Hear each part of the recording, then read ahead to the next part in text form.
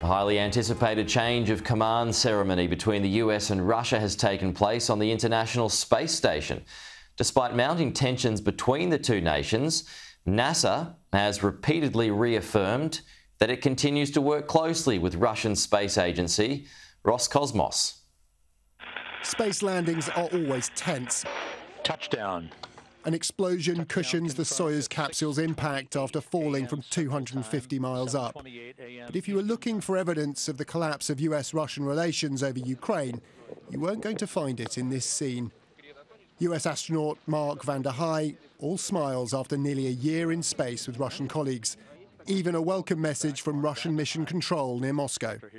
After the invasion, eyes turned upward to the International Space Station to see how the US, Russian, and German crew were coping with the crisis.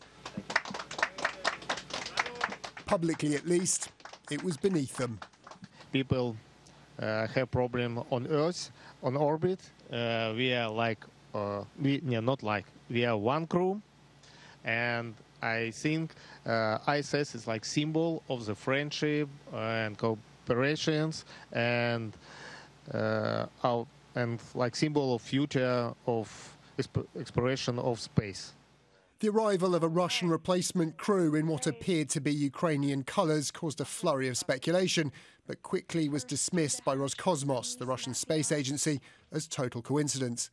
But back on Earth, things are falling apart the two sides were going separate ways for a number of years, long before Ukraine.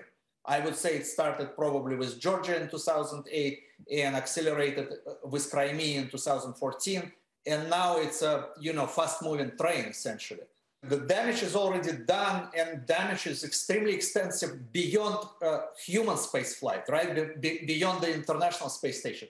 The ISS must endure for now without modification. It can't stay in orbit without both US and Russian modules.